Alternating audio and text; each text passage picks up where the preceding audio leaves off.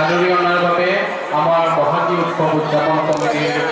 কর্মকর্তাসকলক আহ্বান জনাইছোঁ